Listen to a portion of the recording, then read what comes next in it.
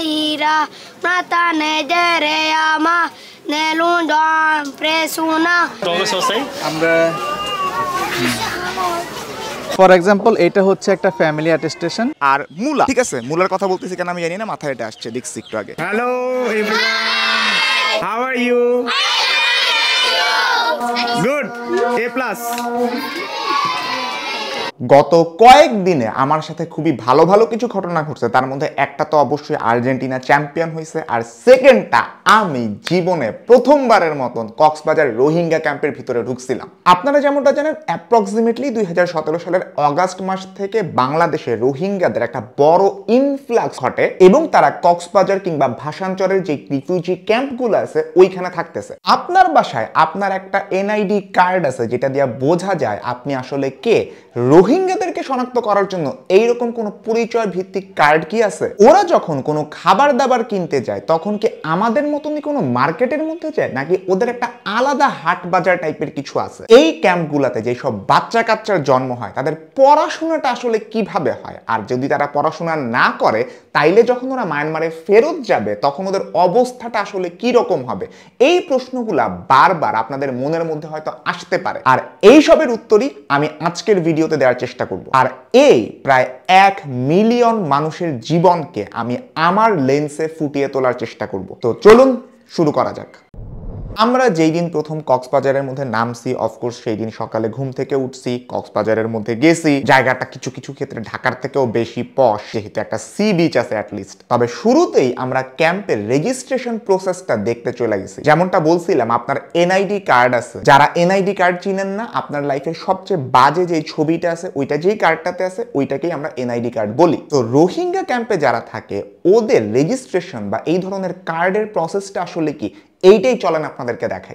Welcome to camp four registration site কক্সবাজারে আমাদের আসলে সাতটা রেজিস্ট্রেশন সাইট আছে। আর আমরা যদি টোটাল সংখ্যা বলি, আমাদের আটটা রেজিস্ট্রেশন সাইট এর একটা হচ্ছে ভাষান্তরে তো আমরা যদি আমাদের ম্যাপটা যদি দেখি তাহলে আমরা আছি আসলে ক্যাম্প ফোর রেজিস্ট্রেশন সাইটে এবং এই সাইটটা আসলে চারটা ক্যাম্পকে সাপোর্ট করে one E one W camp four এবং ক্যাম্প ফোর এক্সটেনশন এবং আমরা যদি জনসংখ্যার কথা বলি, এখানে প্রায় এক লক্ষ ত্রিশ হাজারের মতো রেফিউজি আছে, প্রায় সাতাশ হাজারের মতো ফ্যামিলি অ্যাপ্রক্সিমেটলি তো এই ক্যাম্পে বসবাসরত রেফিউজি যারা আছে, তাদের যদি কোনো ইস্যু থাকে, কোনো সমস্যা থাকে বা তাদের যদি ডাটা আপডেট করতে হয়, তাহলে তারা আমাদের এই রেজিস্ট্রেশন সাইটে আছে। এখানে যখন তারা আসে, তখন আসলে তাদেরকে একটা শিডিউলিং এর ভিতর দিয়ে যেতে হয়। কারণ আপনারা জানেন যে এখানে তেত্রিশটা ক্যাম্প আছে ভাষান্তরে একটা টোটাল চৌত্রিশটা ক্যাম্প এবং প্রত্যেকটা ক্যাম্পে ক্যাম্প ইনচার্জ অফিস আছে, এবং সেখানে আমাদের একটা সিএফআরএম ডেস্ক আছে complain feedback response mechanism desk তো সেইখানে আমাদের পার্টনার এজেন্সিরা আছেন, তো তারা ওখানে যায়, গিয়ে তাদের সমস্যাগুলো তারা ব্যক্ত করে। সমস্যাগুলো হতে পারে যে তার একটা নতুন বাচ্চা অ্যাড করতে হবে, তার হয়তো বিয়ে হয়েছে, তার হয়তো একটা ডিভোর্স কেস আছে, বা মনে করেন তার অ্যাড্রেস আপডেট করতে হবে, অথবা তার ফ্যামিলিতে কেউ মারা গিয়েছে, বা কেউ হয়তো বিদেশ চলে গিয়েছে, সমস্ত প্রবলেমগুলো তারা ওই ডেস্কে বলে। ফর এক্সাম্পল আজকে আমাদের এই সাইটে তিরিশটা ফ্যামিলি এসেছে, তাদেরকে এরকম মানে আমরা শিডিউলিংটা করেছি। তো তাদেরকে আসলে ডেট ওয়াইজ এবং টাইম ওয়াইজ আসতে বলা হয়। তো আসলে বাস্তবে দেখা যায় সবাই আগে চলে আসতে চায়, আগে আসলে আগে সার্ভিস পাবে। এখানে একটা টোকেন সিস্টেম আছে, যে আগে আসছে তাকে আমরা এক নাম্বার টোকেন দিই। এভাবে টোকেন ওয়াইজ আসলে তারা সুন্দর করে এই ওয়েটিং এরিয়াতে তারা বসে যায়। আচ্ছা আচ্ছা একটু দাঁড়ান। পুরা রেজিস্ট্রেশন প্রসেসটা একসাথে দেখলে আপনারা খুবই বিরক্ত হয়ে যাবেন। এখন আপনাদেরকে আমি একটু নিয়ে যাব রোহিঙ্গারা কোন জায়গা থেকে বাজার বা কেনাকাটাটা করে ওইটা দেখানোর জন্য। আমরা এখন যে জায়গাটা দাঁড়ায় আছি এটা হচ্ছে ই ভাউচার আউটলেট বেসিক্যালি এখান থেকে আমাদের যে রিফিউজিরা আছে তারা কেনাকাটা করে। একটা সময় এমন ছিল, ওদেরকে নির্দিষ্ট কিছু ফুড আইটেম দিয়ে দেওয়া হইতো। মনে করেন যে তিনটা আইটেম আছে, এই তিনটা আইটেমই সে পাবে। মনে করেন চাল, পেঁয়াজ আর মূলা। ঠিক আছে? মূলার কথা বলতেছি কেন আমি জানি না, মাথায় এটা আসছে, দেখছি একটু আগে। এই জায়গাগুলো থেকে যেটা হয়, প্রত্যেক রিফিউজিকে প্রতি মাসের জন্য বারো ডলার করে দেওয়া হয়। যেটা আপনি মনে করেন একশো টাকা যদি ধরেন, বারোশো টাকা। যদি একটা ফ্যামিলির মধ্যে বারো জন মেম্বার থাকে, সেক্ষেত্রে বারো ইন্টু বারো, একশো ডলার সে পাবে। এখন যেটা সুবিধা হয়েছে, সে কাস্টমাইজ করতে পারে। সে নিজের নিড অনুযায়ী চিন্তা করতে পারে যে, আমার এই এই আইটেম লাগবে দেন আমি এই আইটেমগুলোই কিনবো।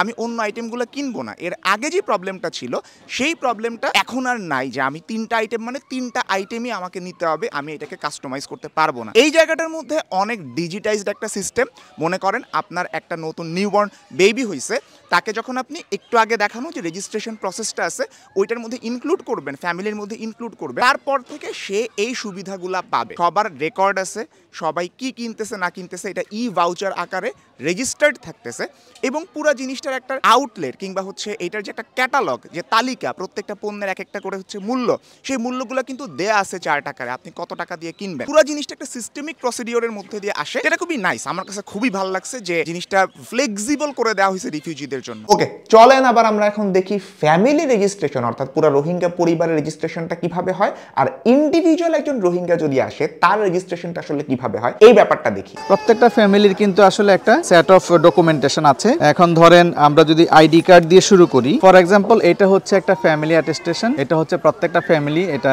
ক্যারি করে। তো আমরা যদি টোটাল পপুলেশনের কথা বলি, আমাদের নাইন মানে নয় লক্ষ পঞ্চাশ হাজার প্লাস ইন্ডিভিজুয়ালস আছে এবং এক লক্ষ সাতানব্বই হাজার প্লাস ফ্যামিলি আছে। এবং আমাদের ফ্যামিলির গড় সাইজ যেটা ফ্যামিলি সাইজ সেটা হচ্ছে অলমোস্ট ফাইভ সো প্রত্যেকটা ফ্যামিলি এরকম একটা অ্যাটেস্টেশন আপনার ক্যারি করে।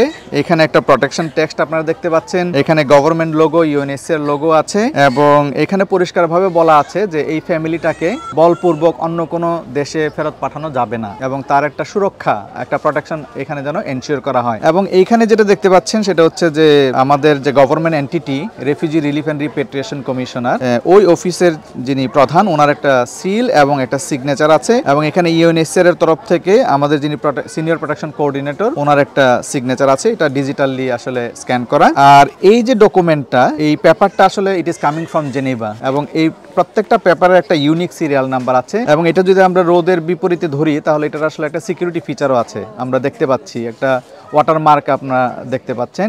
সো এইটা আসলে বাংলাদেশে অ্যাভেলেবল না। ফ্যামিলি অনুপাতে আমরা এটা আমাদের প্রয়োজন মাফিক আমরা অর্ডার করে থাকি। এবং এটার প্রত্যেকটা আসলে একটা অ্যাকাউন্টেবিলিটি আছে। আর আমরা আরেকটা ডকুমেন্টেশন আমরা যেটা দেখাতে চাচ্ছি, সেটা হচ্ছে individual ID card individual card আসলে সো এখানেও গভর্নমেন্ট লোগো এবং ইউনিসিয়ার লোগো আছে, এবং এখানেও আপনার অনেক সিকিউরিটি ফিচার আছে। এখানে আপনারা যে সবচেয়ে বড় যে নাম্বারটা দেখতে পাচ্ছেন, সতেরো ডিজিটের মহা নাম্বার বলি আমরা ministry of home affairs number আসলে যখন সতেরো সালে এবং আঠারো সালে যখন পাসপোর্ট ডিভিশন আর্মি এবং বিডিআর এর সহযোগিতায় যখন আসলে রেজিস্ট্রেশন করে, তখন এই ইউনিক নাম্বারটা আসলে আপনার ওনারা প্রোভাইড করেন। এই ইউনিক নাম্বারটা আসলে প্রত্যেকটা আইডি কার্ডে ম্যান্ডাটরি এর পাশাপাশি আমাদের ইউএনএসিআর এর যে ডাটাবেস প্রগ্রেস ডাটাবেস বলি, এটা অনলাইন ডাটাবেস এবং এখানে একটা ইন্ডিভিজুয়াল নাম্বার আছে, সেটা ইউনিক এটা গ্লোবালি ইউনিক এখানে দুইটা বারকোড আছে প্লাস পিছনে যদি আমরা দেখি, তাহলে এখানে একটা কিউআর কোড আছে। এবং এই কার্ডটাতেও একটা প্রোটেকশন টেক্সট আসলে দেওয়া আছে similar to the family attestation এই কার্ডটা আসলে আমরা ইস্যু করতেছি বারো বছর এবং তার উপরে যারা তাদের জন্য। আর এই অ্যাটেস্টেশনটা আসলে আসলে সবার জন্য ফ্যামিলির সবার জন্য। সো চলেন আমরা আসলে আমরা প্রসেসটা দেখাতে চাচ্ছি। So once they are scheduled they come here they wait here and then they go to the interview room এটা হচ্ছে একটা ব্রেস্ট ফিডিং এরিয়া এখানে এরকম আরও কয়েকটা ব্রেস্ট ফিডিং এরিয়া আছে। আর এটা হচ্ছে আমি হটলাইনের কথা বলতে চাচ্ছি যে এটা হচ্ছে ইউএনএসসিআর এর প্রোটেকশন হটলাইন নাম্বার যে হটলাইন নাম্বারটা টোল ফ্রি এবং যে কেউ এখানে কল করে, তার প্রবলেমের কথাটা আসলে বলতে পারছে। এখানে একটা ইন্টারভিউ রুম আছে। ফর এক্সাম্পল এখানে আসলে তাদের বায়োমেট্রিক ডাটা আপডেট করা হচ্ছে। আমরা আসলে পাঁচ বছর আগে তাদের বায়োমেট্রিক কালেক্ট করি। তো এখন যারাই আসছে এখানে কাজ করার জন্য, যে কোনো ইস্যু নিয়ে আসুক তাদের ছবি এবং বায়োমেট্রিক আমরা আপডেট করছি। তো এখানে আমরা যেটা দেখতে পাচ্ছি, সেটা হচ্ছে একটা ম্যারেজ ডকুমেন্ট এটা হচ্ছে ব্রাইডস কপি অ্যাকচুয়ালি এটা থ্রি পার্ট এবং এটা ছেলেকে এক কপি দেওয়া হয়, মেয়েকে এক কপি দেওয়া হয়, আর একটা কপি থাকে আসলে সিআইসি অফিসে এখানে আসলে গভর্নমেন্ট অথরিটি এটাকে এন্ডোর্স করছেন, এবং once they bring it then we can do the new family creation nuclear family বলি আমরা হাজব্যান্ড ওয়াইফ এবং বাচ্চা কাচ্চা তো তারা আজকে যে ইস্যুটা নিয়ে আসছে, তাদের একটা নিউবর্ন বেবি আছে, এবং তারা নিউলি ম্যারিড কাপল হিসাবে তারা তাদের বাচ্চা সহ তারা একটা ফ্যামিলি ক্রিয়েট করতে চাচ্ছে। তো আমরা এই যে বাচ্চার জন্য আমরা যে রেকর্ডগুলো দেখছি সেটা হচ্ছে যে টিকা কার্ড আছে কিনা এরপরে গর্ভকালীন যে কার্ড সেটাকে আমরা অ্যান্টিনেটাল কার্ড বলছি সেটা আছে কিনা। তো বাচ্চাটার ডেলিভারি কি হাউজে মানে হোম ডেলিভারি না? আচ্ছা যদি এটা মেডিকেল ফেসিলিটিতে হতো তাহলে একটা আলাদা বার্থ নোটিফিকেশন কার্ড তারা পেত। এটা হচ্ছে তাদের ওল্ড ফ্যামিলি অ্যাটেস্টেশন যেখানে দেখা যাচ্ছে উনিই তো না সলিমুল্লাহ? আচ্ছা আর মেয়ের মেয়ের আচ্ছা। মেয়ের একটা আলাদা ইয়ে ছিল সে তার বাবার সাথে ছিল। হ্যাঁ, এটা হচ্ছে মেয়ে। তো তাও নাও এখন এই মেয়েটা এবং এই ছেলেটাকে নিয়ে আমরা একটা নতুন নিউক্লিয়ার ফ্যামিলি করে দিব এবং তার একটা নতুন ফ্যামিলি অ্যাটেস্টেশন পাবে ইনক্লুডিং দেয়ার চাইল্ড সো আমরা পরবর্তী ডেস্কে যাই। এখানে রেফিউজি ফ্যামিলিরা যে সমস্ত ডকুমেন্টস নিয়ে আসতেছে, যেমন টিকা কার্ড মায়ের টিকা কার্ড এরপরে গর্ভকালীন কার্ড যেটা, এরপরে ডিসচার্জ ফর্ম বা এনি ডকুমেন্ট ফ্রম মিয়ানমার তো এগুলো আমরা কি করে এখানে স্ক্যান করছি, এবং এটাকে আমরা ডিজিটালি সেভ করে রাখছি। সো এখানে কি কারও বায়োমেট্রিক্স আপডেট করতে হবে? আমরা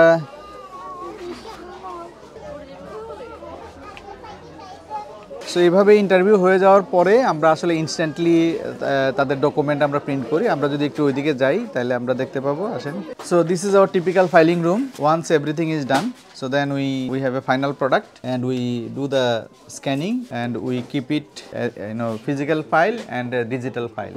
ভাই এই ভিডিওটা দেখার সময় সব সময় মনে রাখেন আপনি রোহিঙ্গা ক্যাম্পের ভিতরের অ্যাক্টিভিটিগুলো দেখতেছেন একটু মাথায় রাখেন এই জিনিসটা। এখন আপনারা যে জিনিসটা দেখতে যাবেন রোহিঙ্গারা ফুড আইটেম কিনলো খাবার দাবার কিনলো কিন্তু ওদের তো ফুড আইটেম ছাড়াও অন্যান্য আইটেমও দরকার লাগতে পারে। এই আইটেমগুলোকেই বলে? নন ফুড আইটেম বা এনএফআই এইগুলোর ডিস্ট্রিবিউশন আসলে কীভাবে হয়? এই জিনিসটা চলেন দেখি। আমরা রেফিউজিদের নন ফুড ফুড ছাড়া অন্যান্য যে আইটেমগুলো দেওয়া হয়, সেটা আমরা এখান থেকে বিতরণটা করি। তো আমাদের বিতরণের একটা প্রসেস আছে। আপনারা দেখছেন এখানে এটা ওয়েটিং এরিয়া এখানে এটা ফিমেল লাইন এটা মেল লাইন মেল এবং ফিমেল আলাদা সেগ্রিগেটেড আলাদা আলাদা লাইন আছে। এই দুইটা আলাদা আলাদা লাইনের মধ্যে আমরা চেষ্টা করি এখানে ফিমেল লাইনে ফিমেল কলিগ অ্যাসাইন করার জন্য এবং মেল লাইনে মেল কলিগ অ্যাসাইন করা থাকে। তো এখানে ফিমেল কলিগ অ্যাসাইন আছে। তো রিফিউজিরা আসতেছে, দেখেন ওরা একটা করে কার্ড নিয়ে আসতেছে। এটাকে বলে অ্যাপয়েন্টমেন্ট টোকেন এই অ্যাপয়েন্টমেন্ট টোকেনে ওদের এফসি এর নাম্বার ওদের নাম এবং কি কি আইটেম পাবে সেটা লেখা থাকে, তারিখ দেওয়া থাকে এবং সিগনেচার থাকে। তো এটা নিয়ে তারা, তাদের স্কেচ তারা যে আজকে এই স্পেসিফিক ব্লগ বা স্পেসিফিক ক্যাম্প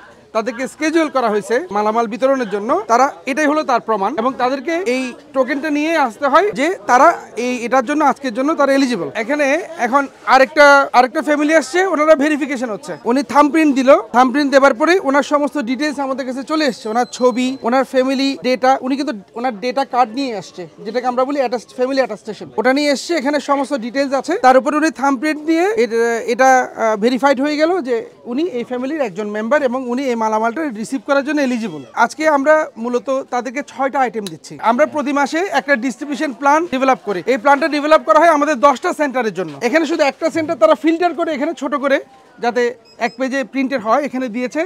এখানে মধ্যে প্রতিদিনে কোন ব্লক থেকে কত ফ্যামিলিকে ডাকা হবে, কোন আইটেমের জন্য কত ফ্যামিলি স্পেসিফিক্যালি লেখা আছে।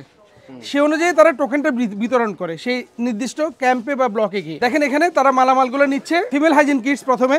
এটাই হলো সেই কিটটা মেনস্ট্রুয়েশনাল কিট এরপরে ব্ল্যাঙ্কেট স্লিপিং ম্যাট বাথ এবং লন্ডি সোপ সাথে টট ব্যাগ এই আমরা টট ব্যাগ এই টট ব্যাগটা বেসিক্যালি এটা হলো আমাদের একটা এনভায়রনমেন্টাল প্রজেক্টের অংশ। আমরা প্লাস্টিক এলিমিনেট করার জন্য এরিয়া থেকে আমরা এই টট ব্যাগটা বিতরণ শুরু করেছি। এটার প্রোডাকশনটা ক্যাম্পে হয়। আমাদের রেফিউজি উমেনরাই এটা মূলত করে। এটা একটা লাইভলিহুড অ্যাক্টিভিটি তো প্রতি দুই মাসে আমরা একবার করে প্রত্যেকটা হাউস হোল্ডকে এরকম একটা করে ব্যাগ আপনারা যদি ক্যাম্পে হাঁটেন, খেয়াল করবেন যে এখানে প্লাস্টিক কিন্তু তেমন একটা নাই বললেই চলে। এখানে প্লাস্টিক ইউজ হয় না। এরা মালামালটা নিল, নেবার পরে এরা পরবর্তী স্টেপে যাবে। ওনারা সাইন করে টোকেনটা রেখে দিচ্ছেন এবং ওনাদেরকে এখানে মার্ক করে দিচ্ছেন কম্পিউটারে কালেকশন মানে কালেক্টেড, তারা মালামালটা কালেক্ট করে ফেলেছে। তার মানে তারা যেটাই নেবে, কে নিচ্ছে, কখন নিচ্ছে, কি পরিমাণ মালামাল নিচ্ছে, আমাদের কাছে সমস্ত রেকর্ড থাকে। ডিজিটালিও থাকে ম্যানুয়ালিও থাকে। বাট আমাদের সিস্টেমটা পুরোপুরি ডিজিটাইজ সিস্টেম আমরা তাদেরকে ডিজিটালি ডিস্ট্রিবিউশন করি। আমাদের এখানে ওভারল্যাপিং বা ডুপ্লিকেশন হওয়ার সম্ভাবনা জিরো পার্সেন্ট এটা হলো আমাদের টোটাল এনএফআই ডিস্ট্রিবিউশন প্রসেস যে নন ফুড আইটেমগুলো ডিস্ট্রিবিউট করা হইতেছে, এগুলাকে আইনা কিন্তু একটা বড় গুদাম ঘরের মধ্যে রাখা হয়, বা ওয়্যার হাউস বলে এটাকে। এই গুদাম ঘরের মধ্যে জিনিসপত্র রাখারও একটা সিস্টেম আছে। তো আমরা যে ব্লকগুলো, যে হাউস হোল্ডগুলো কভার করি, আমাদের অ্যারাউন্ড এগারো বারো হাজারের মতো ফ্যামিলি আমরা এই ডিস্ট্রিবিউশন সেন্টার থেকে কভার করি। তো তাদের মালামালগুলো এখানে স্টক করা হয়। দুটো ওয়্যার হাউস এখানে একটা, এই যে দেখেন সাবান টট ব্যাগ যেটা বিতরণ হচ্ছে, আপনারা দেখছেন, এগুলো এখানে স্টক করা আছে। যদি if you want to come inside please এই যে সাবান, এটা এটা bath soap laundry soap tote bag এটা হলো ব্ল্যাঙ্কেট ওটা ফিমেল হাইজিন কিটস যেটা আমরা দিচ্ছি। এরপর এখানে এখানে আমাদের কিছু সিআরআই আইটেম আছে, যেমন এটা হলো বাকেট, এখানের মধ্যে আছে স্লিপিং মেট এখানে আছে কিচেন সেট জেরি ক্যান তারপর kit bag tarpaulin solar lamp এই আইটেমগুলো আমরা আছে এখানে। এগুলো বেসিক্যালি আমরা বলি সিআরআই কো রিলিফ আইটেম যখনই কোনো ইমার্জেন্সি হয় বা যখন নিউ অ্যারাইভেল আসে, তখন আমরা অ্যাডহক বেসিসে এই মালামালগুলো বিতরণ করি অ্যাজ এ কিট এবং এটা বিতরণ করা হয় ফ্যামিলি মেম্বারদের সাইজ অনুযায়ী। এই যে কন্টেনারগুলো দেখতেছেন, এই কন্টেনারের মধ্যে আমাদের ইমার্জেন্সি আইটেমগুলো আছে। দেখেন এখানে টার্পুলিন ব্ল্যাঙ্কেট স্লিপিং ব্যাগ এগুলো emergency item part of emergency item rope আছে ওয়্যার আছে। তো যখনই কোনো ন্যাচারাল বা ম্যানমেড ডিজাস্টার হয় বেসড অন দ্য অ্যাসেসমেন্ট আমাদেরকে ফিল্ড কলিকরা ভেরিফাই করে ডাটা পাঠায়। সে অনুযায়ী আমরা এখান থেকে মালামাল বিতরণ করি এই রেসপন্সের জন্য। এই বিতরণটা আমরা চেষ্টা করি চব্বিশ ঘণ্টার মধ্যে করে দেওয়ার জন্য। উনচল্লিশ হাজার সাতশো ফ্যামিলিকে অ্যাসিস্ট করার মতো আমরা এখানে স্টক রাখি। তো যে কোনো ধরনের ডিজাস্টার হলে আমরা এক্সটার্নাল সাহায্য ছাড়াই ক্যাম্পে স্টাফ থেকে আমরা তাদেরকে যে কোনো রেসপন্স করতে পারব। এটা হলো আমাদের পার্ট অফ ডিস্ট্রিবিউশন সো আমাদের এটা একটা ডিস্ট্রিবিউশন অ্যাডহক যেটা আমরা বলি অ্যাডহক বা emergency distribution hello how are you? আমরা এখন একটা লার্নিং সেন্টারের ভিতরে আছি যেখানে বাচ্চাদের পড়াশোনা শেখানো হয়। এটা একটা কোশ্চেন আসে, যদি আমাদের রিফিউজি বাচ্চারা পড়াশোনা না করে, তারা একটা সময় যখন মায়ানমারে যাবে, এই বাচ্চাদের ভবিষ্যৎ আসলে কি হবে? তারা যখন চাকরি নিতে যাবে, তাদের এডুকেশনাল ব্যাকগ্রাউন্ড যদি না থাকে দেন ওরা কিন্তু এতটা স্কিলফুল হবে না অ্যান্ড দ্যাটস ওয়াই এখানে মায়ানমার কারিকুলামে আমার ম্যাথ থেকে শুরু করে অনেকগুলো সাবজেক্ট পড়ানো হচ্ছে, যাতে করে ছোটবেলা থেকে তাদের স্কিলটা ডেভেলপড হয়, এবং পরবর্তীতে তারা যখন আবার মায়ানমারে ফেরত যাবে, তারা এই এডুকেশন অর্থাৎ আমাদের যে বেসিক হিউম্যান রাইট একদম মৌলিক অধিকার যেটা শিক্ষা আমাদের, এই শিক্ষাটা থেকে বঞ্চিত না হয় জাস্ট বিকজ তারা বাংলাদেশে এই মুহূর্তে আছে অ্যান্ড এইটা নিয়ে এই লার্নিং সেন্টারগুলো কাজ করে, যেটা একটা হিউজ অপরচুনিটি এই রোহিঙ্গা কমিউনিটির জন্য। তো আমাদের মিয়ানমার কারিকুলাম স্কেল আপ শুরু হয়েছে, এই বছরের জুলাই থেকে ইউনিসেফ মিয়ানমার কারিকুলাম পাইলটিং করেছে গত বছর জুলাই থেকে সেটা হচ্ছে হাই স্কুলের জন্য grade six grade seven grade eight এবং গ্রেড নাইন তো মিয়ানমার কারিকুলাম স্কেল আপের আন্ডারে আমরা KG kindergarten grade one এবং গ্রেড টু শুরু করেছি। এরপরে আমাদের যে শিশুরা আছে, তারা হচ্ছে এলসিএফ এ লেভেল থ্রিতে আছে। লেভেল থ্রিকে আমরা শিফট করিনি। Level three as it is continue হচ্ছে এবং আমাদের একটা এজ গ্রুপ যারা এগারোর বেশি বয়স, তারা হচ্ছে LP accelerated learning package program ওটার আওতায় আছে। অ্যাক্সিলারেটেড লার্নিং প্যাকেজ প্রোগ্রামে তাদের প্যাকেজ টু তে যারা পড়েছে, তাদের ক্লাসও ওখানে চলতেছে। সো এই দুইটা ক্লাসরুমে grade one grade two LP এবং লেভেল থ্রি এই চারটা ডিফারেন্ট গ্রুপের ক্লাস আপনারা দেখতে পাবেন। যে শিশুদের বয়স ছয় থেকে চোদ্দ বছরের মধ্যে। দেখেন স্কুল আর লার্নিং সেন্টারের মধ্যে কিন্তু পার্থক্য আছে। এইগুলা যেহেতু ফর্মাল এডুকেশনাল সেন্টার না, এগুলাকে আপনি স্কুল বলতে পারতেছেন না। এটাকে আপনার বলতে হবে লার্নিং সেন্টার বা শিখন কেন্দ্র। আর এখানে আমাদের প্রতিটা ক্লাসরুমে দুইজন টিচার, একজন বাংলাদেশি টিচার, একজন রিফিউজি টিচার। তো রিফিউজি টিচার যারা হচ্ছে মিয়ানমার কারিকুলামের কাজ ক্লাস করছেন, ওখানে রিফিউজি টিচারের রেসপন্সিবিলিটি মোর বিকজ তাদেরকে হচ্ছে তাদের রেগুলার যে সাতটা বই পড়াতে হয় সেই বইটা পুরোপুরি মিয়ানমার ল্যাঙ্গুয়েজে লেখা। এ কারণে যারা রিফিউজি টিচার, তাদের রেসপন্সিবিলিটি বেশি। কিন্তু যারা বাংলাদেশি টিচার তারাও তাদেরকে টিচিংয়ে সাপোর্ট করে। যেমন গ্রুপ ওয়ার্কগুলোতে হেল্প করছে, খাতা চেক করছে, সব স্টুডেন্টরা পড়া বুঝছে কি না ক্লাস ডিসিপ্লিন মেনটেন করা, এই জায়গাগুলোতে হেল্প করছে। তো ছয়টা মোট সেভেন সাবজেক্ট তাদের হয়। তার মধ্যে একটা ক্লাস ইংলিশ ক্লাসটা বাংলাদেশি টিচার নেয়। আর যেমন Myanmar language class math class এরপর সোশ্যাল স্টাডিজ লাইফ স্কিল আছে ফিজিক্যাল এডুকেশন আছে। এই এই ক্লাসগুলো করে আমাদের রিফিউজি টিচার আমরা আমাদের পক্ষ থেকে বইগুলা ওদের ওয়ার্কবুক দেওয়া আছে টিচার্স গাইড বুক দেওয়া আছে, এবং ওদের স্টুডেন্টদের জন্য আমরা খাতা দেই। এবং এখানে ওরা কিন্তু মিয়ানমার ক্লাসটাও কিন্তু ওরা এভাবে এইটাতেই লিখে। ওদের দেশে সব খাতাগুলো এরকম ইংলিশ প্লেন খাতা তারা লিখে না। এটাতে ওদের যে মিয়ানমার ল্যাঙ্গুয়েজের যে অ্যালফাবেটগুলো এটাতেই তারা প্র্যাকটিস করা। এই জন্য এই খাতাটা বেশি দেই আমরা। মানে ইংলিশ ছাড়া বাকি সবগুলো কি মানে মায়ানমারের ল্যাঙ্গুয়েজেই পড়ানো হয় না? হ্যাঁ বাকি সবগুলো। আর লেভেল থ্রিতে ম্যাথ আর ইংলিশ হচ্ছে যে বাংলাদেশি কারিকুলাম মানে ইংলিশ আর কি। ম্যাথও ইংলিশে আর ইংলিশও ইংলিশে। আচ্ছা আচ্ছা। এমনিতে এখানে কি বাংলা শেখানো হয়? না না এখানে কোনো বাংলা শেখানো হয় না। আচ্ছা আচ্ছা। মানে আপনার এমনিতে অভিজ্ঞতা কি বাচ্চাদেরকে পড়ানোর? অভিজ্ঞতা হচ্ছে যে অনেক ভালো লাগে ওদেরকে পড়িয়ে। আর ওনারা অনেক এখন ভদ্র হয়ে গেছে। অনেক শান্ত সৃষ্ট। শান্তশিষ্ট আচ্ছা, প্রথম প্রথম একটু অগোছালো ছিল আর কি। আচ্ছা আচ্ছা। এখন অনেক গুছালো অনেক ভালো লাগে। সাকিব আল হাসানের কাছ থেকে আমি এই বলটা পাইছি সেই দিন সাকিবকে এক্সপ্লেইন করার জন্য আমাদের কিছু মেটাফোর টাইপের দেওয়া হয়েছিল সাপোজ বোম্বাই মরিচ কাচ্চির আলু যেটা দিয়ে যে সাকিবকে বেশি ভালো মতন এক্সপ্লেইন করতে পারে অ্যান্ড আমি পাইছিলাম মোবাইল ক্যামেরা যেটা দিয়ে আমি সাকিবকে এক্সপ্লেইন করছিলাম আর ওইটা সাকিব ভাইয়ের এত পছন্দ হয়েছে যে সবার মধ্যে আমারটাকে উনি বেস্ট বলছেন কার্ডটা আপনার সবচেয়ে ভালো লাগছে কে ফার্স্ট লাস্ট দুজন কে হয়েছে আমি জানি বাকি চারজনই খুব ভালো বলছে বাট যদি একটা পিক করতে হয় ডিফিকাল্ট আসলে মানে কাচ্চির আলো বোম্বাই মরিচ দুটাই খুব ভালো ছিল খুব ভালো ছিল। লাস্টে নিয়ন নিয়ন উনিও খুব ভালো এই নিয়ন তো নাম। বাট আমার মনে হয় টিচার উনি সব থেকে ভালো বলছে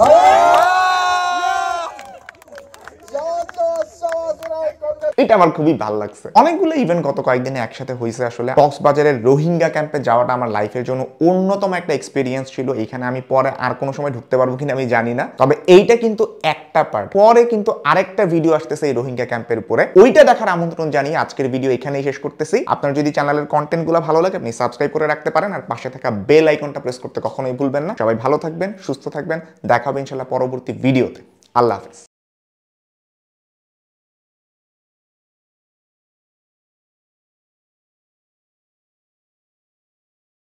কাট